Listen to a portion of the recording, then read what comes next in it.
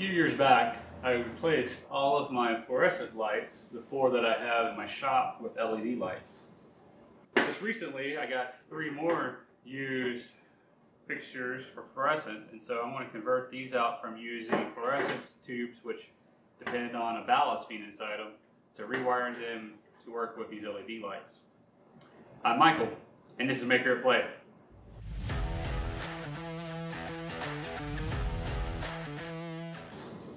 I purchased these LED fluorescent replacements off of Amazon. So I went with 6500 Kelvin on the color temperature because I wanted really bright white, you know, like daylight, not only to increase visibility in the shop, but also to help with the filming that I do as well, so that's better lighting for the camera.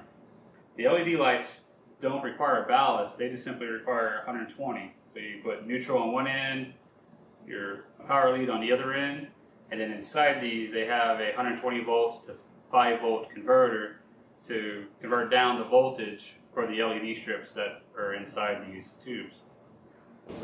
Okay, Google, play music.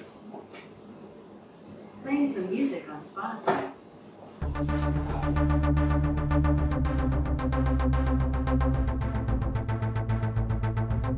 After opening up the fluorescent fixture, just a matter of removing the ballast, cutting the wires off, so we're no longer going to need the ballast, and then taking an old extension cord, cutting the end off of it so that we can wire it directly to the wires.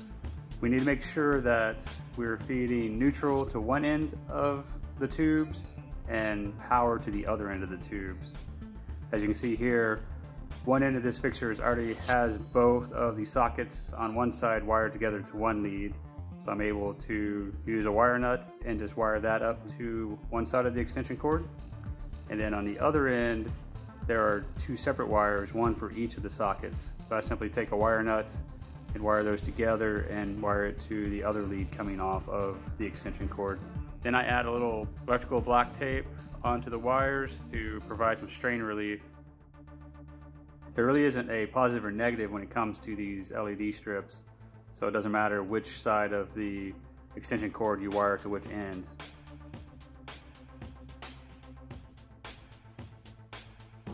There we go.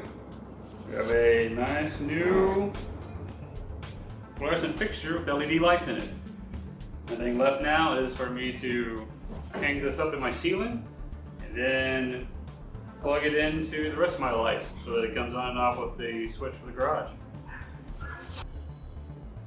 I will have links down below in the descriptions for the LED bulbs that I use.